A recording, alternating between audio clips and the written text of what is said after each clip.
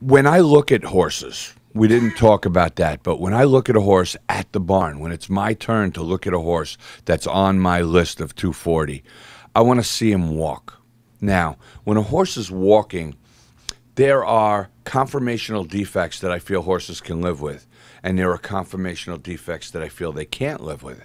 And it's interesting because I'll see a conformational defect that I absolutely feel a horse cannot live with, and now I'll just put a big X through that horse.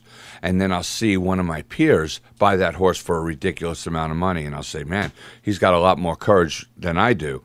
And I don't follow those horses because I'm just too busy, but I would be almost willing to bet that most of those horses that I turned down do not amount to much. Because when I turn down a horse, it's from years of knowing that, well, with that kind of crooked knee, it's very likely going to end up with a bone chip. Or, or a or a career-ending injury, or that the way that that tendon ties into the back of that knee, that horse could very easily end up bowing a tendon or getting a soft tissue injury. So when I put an X through a horse, I feel pretty confident that that horse isn't going to come back and haunt me one day.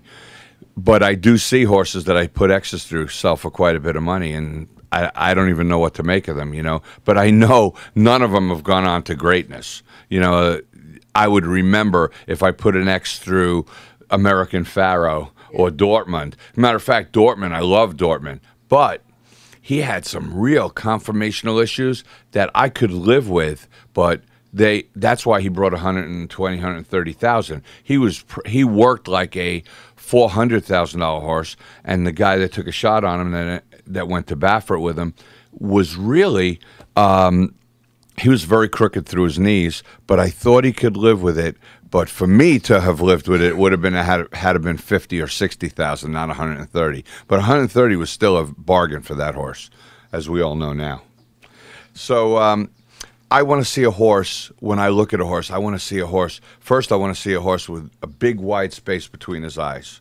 We feel that horses that whose eyes are very close together have a lot less space for the brain okay? Whether that's old school or or whether that's founded in fact i've never dissected a horse's head so i'm not sure but i like to see a nice big i like to see if i put my hand up like this i like to see one eye at the end of this thumb and one eye at the end of my pinky. I want a nice big space between the eyes. When a horse walks i want a nice big overreach and by overreach i mean when the horse takes his front step i want the hind foot to overreach that front step by a big margin. If a horse is short, what I call short stepping, he may only overreach an inch or two. That is an automatic X off of my list. I want to see a horse minimum six inch overreach, and I've seen horses with a 12 to 18 inch overreach, and they're big, big walkers, means big, big stride, and usually big, big future. So I I want to see a big overreach on a horse when he's walking towards me and when he walks past me. And the further each step, I want that overreach to get bigger and bigger and bigger. And don't forget, a lot of trainers, a lot of people looking at these horses. So as the day goes on, they get tired and that, that reach gets a lot smaller. But I make amends for that, and I can see the way the horse is, and I try and make amends for it. And I still feel a horse might have a four or five inch overreach in the afternoon that was probably a ten in the morning, and I'm I'm going to be okay with that horse. The some of the other things I look for are I want to see a good foot. Remember, the foot is only about four to five inches long and three or four inches thick, and the foot is what is supporting 1,200 pounds. That horse is being supported by that tiny little foot. And there's an old timer's saying, no foot, no horse. And there's nothing that could be truer.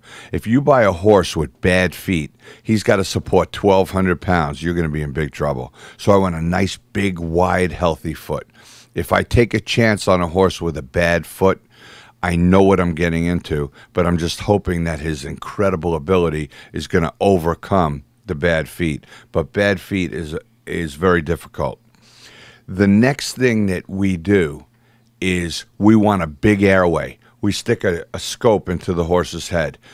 Big airway, big breaths, big red blood cells going to the heart, big oxygen going to the heart. A horse has to be able to breathe. If he can't breathe, a horse that has a, let's say, a two inch airway is not going to be as successful as a horse with a four inch airway. And it's it's just a fact. If they can't take as much air, they're not going to be as successful. So we grade throats grade one, grade one AB, grade two AB, grade three AB. The grade is the amount of the opening. The AB is the way the opening works. We call them asymmetric or symmetric. Do they open in, in harmony to each other or do they open odd, like a horse's throat looks like a pear. And if one side opens real strong while the other side stays kind of still, we call that asymmetric. Some horses can live with a certain degree of asymmetry, but it is a negative nonetheless because it it's going to be a negative to an equal exact equal horse that is symmetric. So we want a big wide open airway. The next thing we do, and not everybody does this, is we do a heart scan. A few years ago, a group called Equix Biomechanics discovered that Secretariat's heart, and Secretariat is the staple for the greatest horse in the world. Whether he was or he wasn't, he w- is what is considered the greatest horse in the world. His heart was X amount of centimeters, and we can we have always determined that that is why he was so sensational. Now we scan hearts and we get we can actually look at the scan of a heart and say you got a chance for this horse to be a great mile and a quarter horse or this horse's heart is in this group which only produces sprinters or this horse's heart is in this group which only produces milers and this horse's heart is in the secretariat elite group ahmed zayat who like him or don't like him i happen to love him because he's great for this game, has American Pharoah in the Triple Crown. And by the time you see this, you'll already know how he did in the Triple Crown. But that horse right now is the greatest horse in America today. And Ahmed Zayat, he will not buy a horse without scanning his heart. And he's had Zenyatta, uh, not Zenyatta, he had um, Eskendereya, and he's had some great horses. Paynter. I mean, you look at the the history of Ahmed Zayat, and it's phenomenal. He has one great horse after another. This year alone, I forget the horse, but he had two or three horses that were pointed for the Derby, and every one of those horses passed the heart scan. So for three, four hundred bucks to not scan a horse's heart, really, you're you're not keeping up with the the, the next guy over. So we put all this together: the walk, the head, the intelligence, the way the horse moves, the thrust, the overreach, the heart, the the airway, and we get those few horses where they where the bell goes off, the light goes on in every single category, and that those are the ones that become racing's elite. There's a there's an exception to every rule. There's a great little ball player, but most of the great ball players are look like great ball players. There's great small basketball players, but most of your basketball players are seven feet tall. And but there's a couple great ones. Bobby Ussery, you know, I, Bobby Ussery was a great jockey, but he was tall and he had he had he had weight problems. There's an exception to every rule. And in horses, there's lots of exceptions. But when you get a horse that lights up every category that we've just discussed at the sales, you know going in, you have a great chance to come up with a great horse. The problem is, no matter how perfect your horse is, he has just as good a chance of stepping in that hole or stepping on that rock or having that stray cat run in front of him and spooking him or flipping over in the starting gate or getting hurt in the stall or getting cast up against the wall or having another horse run into him on the racetrack like happened to one of my horses today. He has the same chance of something going wrong as every other horse. So a lot of great horses never make the races, but a lot of great horses do. And at the sales, we're at least starting with what we hope is a great horse.